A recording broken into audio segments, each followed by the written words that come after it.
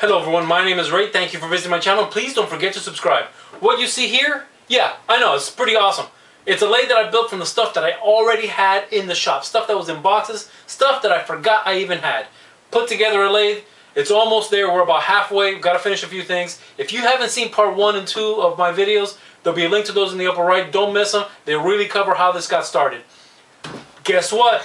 We've got a live center on a homemade lathe made from spare parts that were lying around. Live center, look at that. A bicycle wheel hub live center, unbelievable. We got to finish this up today. I got to make a center for it.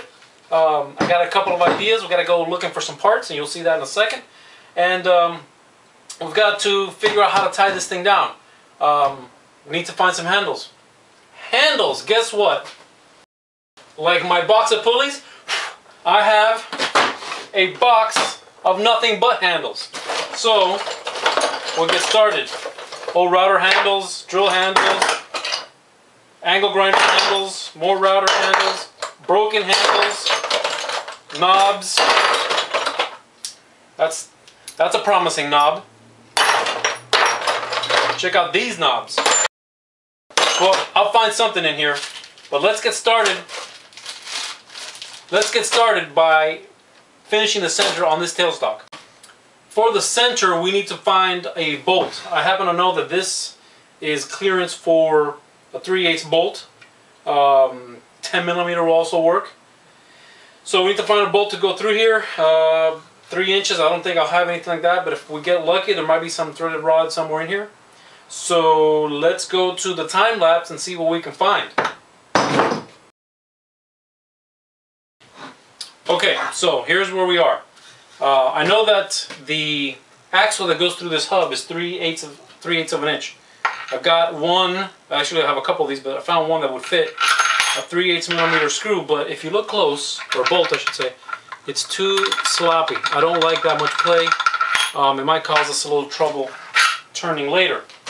So um, I also had a little piece of 10 millimeter threaded rod. I went ahead and Clean. You can see how rusty. This has been sitting around a while. Cleaned up the ends uh, on the stone. And you can see that this actually sits in here much better. It's not perfect, but it's better. But guess what? Since I've got a little bit of everything, I've got this stuff called Shimanocan. If you enjoy the 60s, 70s styling of this product, uh, that's for good reason. Uh, it's 5 thousandths of an inch thick. And I, I cut a few strips and I took those strips and I rolled them into a, uh, I rolled them into a cylinder. So when, whenever you do this kind of thing, you always want to make sure that when you roll that cylinder, that the ends do not overlap. There's a, there's a small gap here between the ends. I'm Not sure if the camera's picking that up. I'll, I'll put a, make a close-up of that in a minute. Okay, here you see that aluminum sleeve up close. Uh, you can see that it was actually from flat and I, I rolled it up. The way I rolled it up, I just put it on this rod and I wrapped it around there.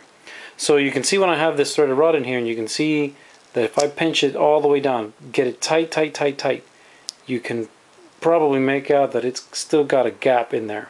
So that's very important. You don't want that to overlap.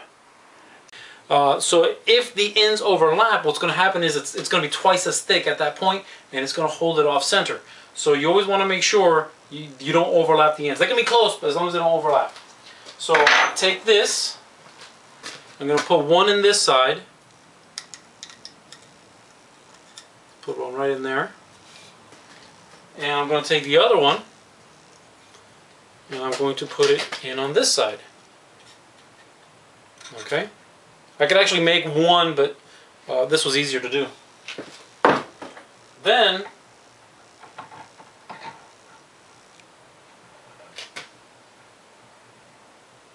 put my threaded rod in, my 10 millimeter threaded rod, and look at this.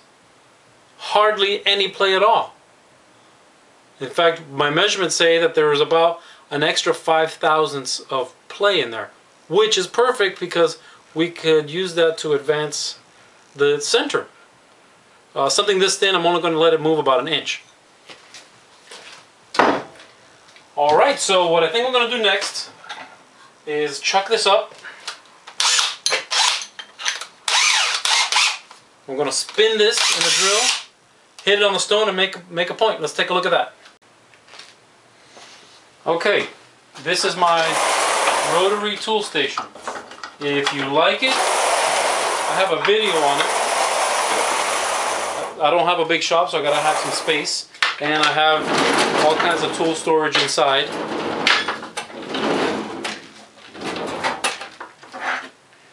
But we are going to do this right now.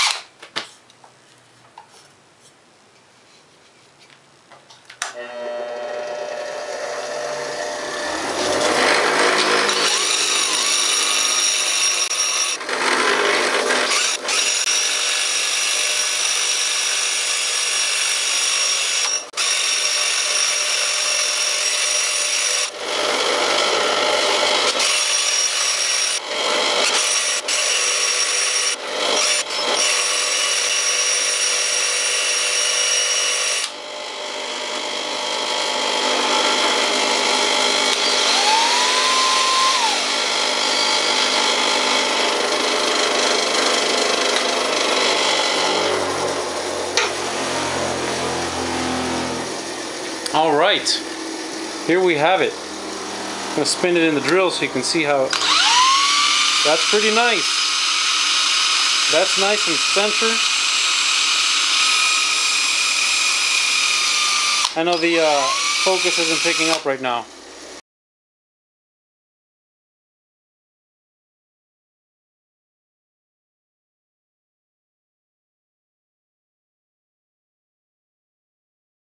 Well, here it is. We got a center in there. That is going to be just absolutely great. Got nuts on both sides. And I have just enough length here that I can possibly put a handle on it. But being that it's only 10 millimeters thick, I don't think I want it sticking out too much further than that. So um, I'll just have the handle just to advance it from zero to about an inch. I wouldn't want it going any further than that. But that is not a bad center. I mean, that is a live center. Think about a live center. That's awesome.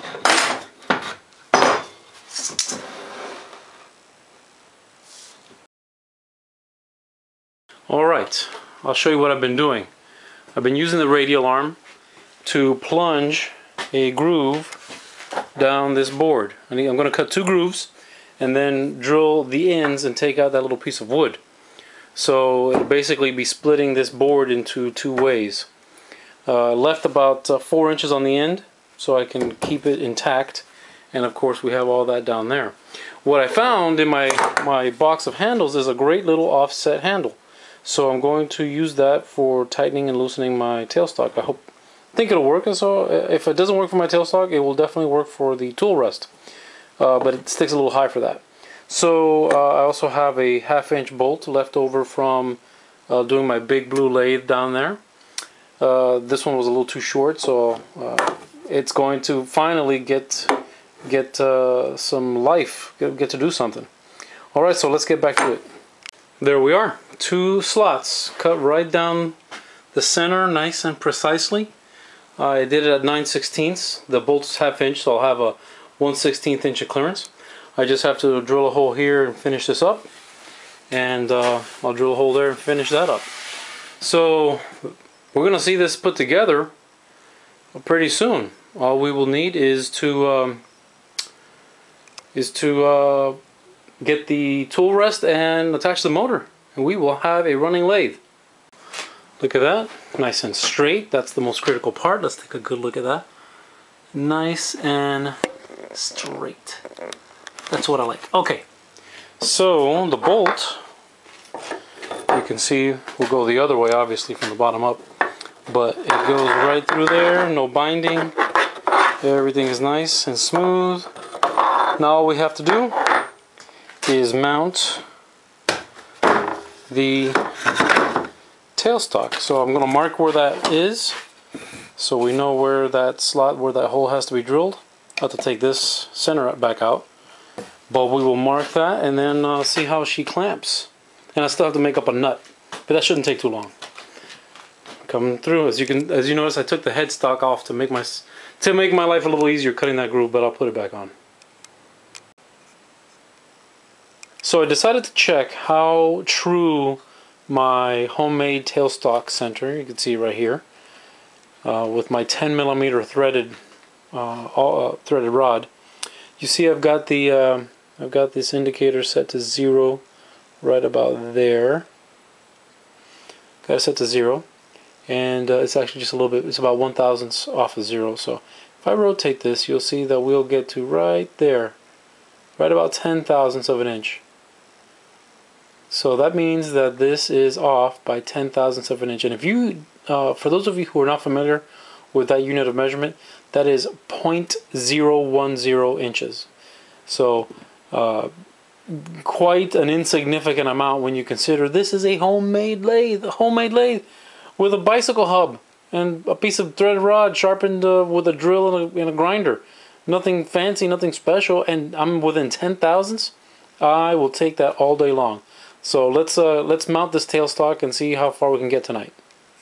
Okay, one of the things we need to do is uh, think about our spur drive. I gotta drive this thing from the headstock somehow. So I was thinking about that.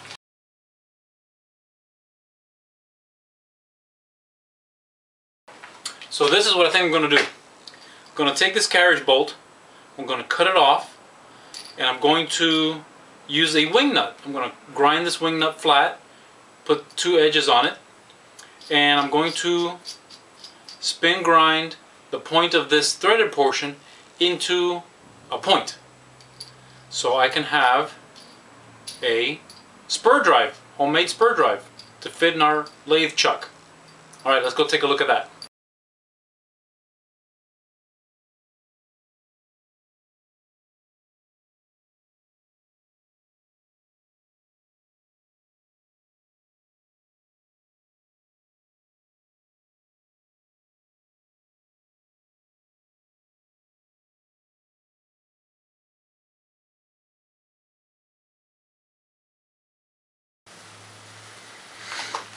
Well, as you saw, I started with a carriage bolt, much like this one.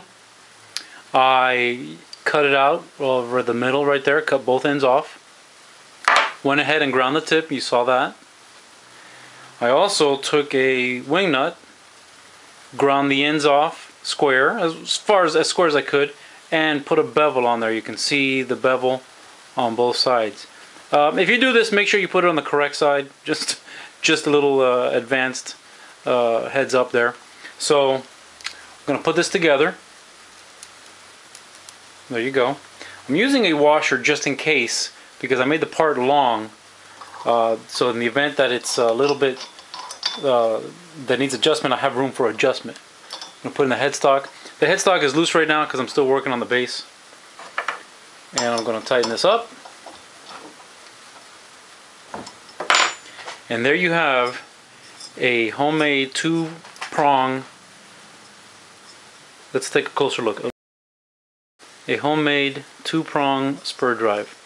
Now this is a small lathe so I'm not going to do anything super huge so I think this is this is more will be more than adequate for what I have to do. Now I might have to adjust this length here um, which I can do. I can always take a little bit more off but for for starters this is this will get us going for starters very well, we have made some pretty good progress today. We've got the the uh, center slot cut, so it allowed me to bolt all my accessories, tailstock, tool rest. And if I didn't mention it before, uh, you can see I have some runners under this tailstock right here, both sides. The reason is this this is a, a board, you know, it's just a standard board. I don't have a planer. And it has a little cup in it. So I created, I uh, put these two little runners so the hump of the board wouldn't affect the, the tailstock. Um, we got the the tailstock live center. Right now it's a little it's loose. I don't have it tightened. You can see it's loose there. Uh, but it's a lot, nice live center. We ground that tip. We have the two prong spur drive for the headstock. You can see that very nice. Didn't cost a penny. I already had these parts in in here. And um, the tailstock is mounted and ready. One of the things I realized is because of the head of the bolts, you can see right here, and I'm going to have one for the for the tool rest as well.